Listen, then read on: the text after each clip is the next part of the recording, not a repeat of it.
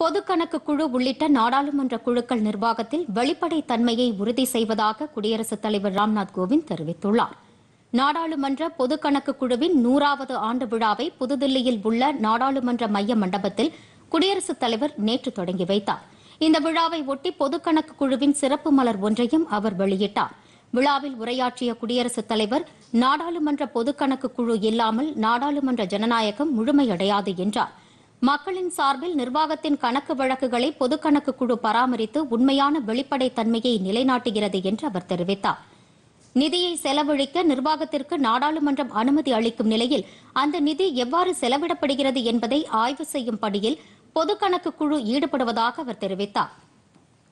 தூய்மையான பொது வாழ்க்கையில் கணக்கு வழக்குகளை சிறப்பாக கையாள்வது அவசியம் என்று மகாத்மா காந்தி குறிப்பிட்டதை சுட்டிக்காட்டிய குடியரசுத் தலைவர் லட்சியங்கள் மற்றும் எதிர்பார்ப்புகளுக்கு ஏற்ப பொது கணக்கு குழு செயல்பட்டு வருவதாக தெரிவித்தார்.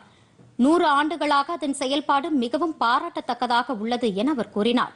நிகழ்ச்சியில் உரையாற்றிய குடியரசு துணைத் தலைவர் வெங்கையா நாயுடு பொது கணக்கு குழுவின் அறிக்கைகள் எப்போதும் அரசின் செயல்பாட்டை மேம்படுத்துவதற்கு உதவுகிறது என்று குறிப்பிட்டார்.